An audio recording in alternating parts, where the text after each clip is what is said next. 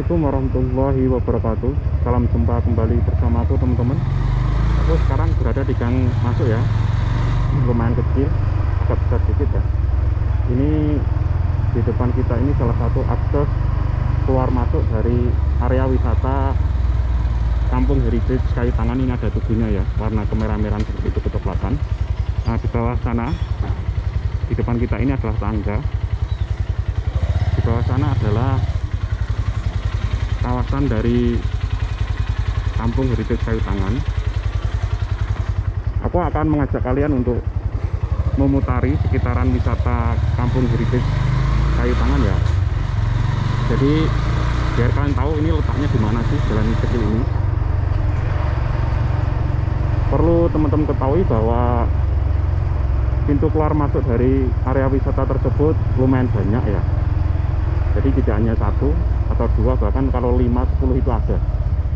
Ini juga pintu keluar masuknya ada kebu atau gapura gitu ya warnanya kecoklatan sama dengan yang seperti tadi.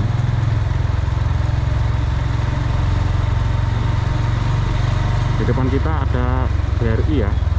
Kalau tidak salah ini kantor cabangnya.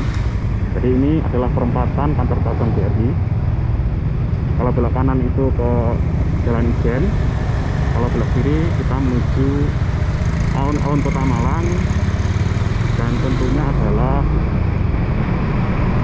kawasan wisata Kampung Heritage Kayu Tangan.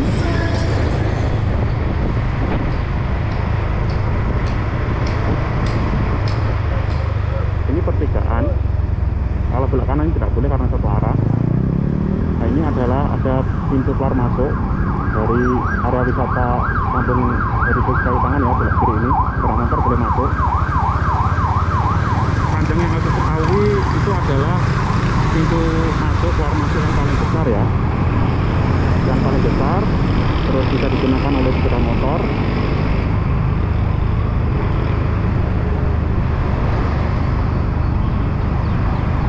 Di sekitar sini ya teman-teman juga ada pintu keluar masuk dari area wisata tersebut. Aku kurang tahu tepatnya di mana lokasi tepatnya nah di depan kita ini adalah alun-alun kota Malang alun-alun Masjid Agung belok kanan ini jalan terus ya. Belok kanan tepat ada Masjid Agungnya. Kita belok kiri juga jalan terus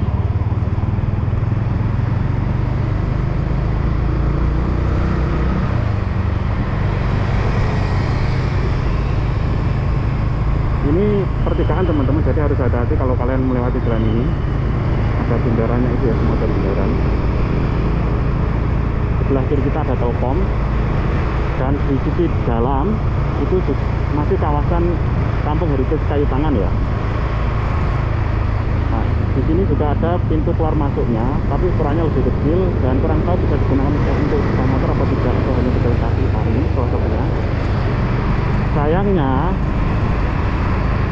meskipun sudah diberi kursi-kursi di sekitaran trotoar masih ada mobil yang parkir di pinggir jalan ya. Jadi kursi-kursi itu tidak terlihat ya teman-teman. Nah itu dia ada kursi-kursi ya. Ini kursi-kursinya. Seperti kayak-kayak di Yogyakarta sekitaran Malioboro. Nah ini. Kalau di sini kan tidak ada apa mobilnya di sini terlihat ter, terlihat ya. Kita belok kiri kalau belok kanan itu arahnya ke alun-alun wali kota, balai wali kota. Atau ke Sprindik juga bisa ya. Jadi kawasan wisata heritage kayu tangan itu lumayan luas. Di sisi dalam sebelah kiri kita ini juga masih kawasan heritage kayu tangan ya aku menyikatnya KHK KHK Kampung Heritage Kayu Tangan. Jadi lokasi wisatanya memang di dalam seperti perumahan hampir mirip dengan kampung warna-warni. Cuma kalau kampung warna-warni nilai jualnya value-nya itu yang menjadi daya tariknya itu adalah warnanya tersebut ya. Dan juga beberapa aksesoris-aksesoris lainnya. Terus kemudian kalau yang ini yang nilai jualnya adalah estetik klasik ya sejarah nilai sejarah keklasikan seperti itu. Di depan kita adalah perempatan dari cabang ya ini sebelah kiri sebelah kanan kita ya. Kita belok kiri ke pintu keluar kita tadi nah ini. Jadi nilai jualnya itu adalah seperti lampu-lampu hiasan klasik seperti itu eh, retro gitu ya. Berarsitektur kuno. Seperti Gapura ini. Terus kemudian sungai-sungai kecil itu dan beberapa hiasan-hiasan lainnya. Tapi aku lihat sedikit tadi kok belum terlalu sempurna atau jadi ya kurang tahu. Barangkali teman-teman ada yang lebih tahu silahkan komentar di video ini.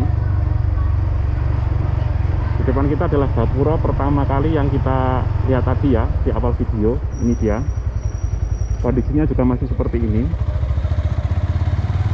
Ya semoga ke depannya nanti bisa menjadi lebih baik menjadi daya tarik wisatawan berbagai kota ya. Tentu akan sangat meriah sekali dan semoga tidak kalah dengan Malioboro Yogyakarta aku berharap seperti itu. Terima kasih sudah menonton. Wassalamualaikum warahmatullahi wabarakatuh